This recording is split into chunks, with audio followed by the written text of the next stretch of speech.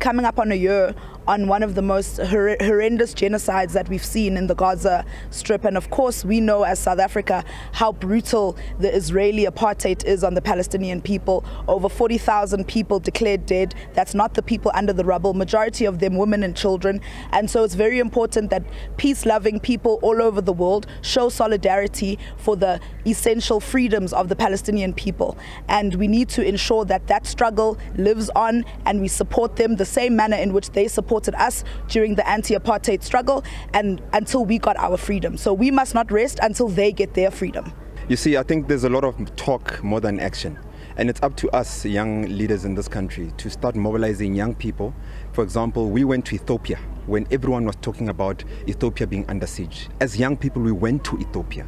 We signed indemnities to say we are going to support practical and see if Ethiopia will continue to be bombed when there's international community now going to Ethiopia.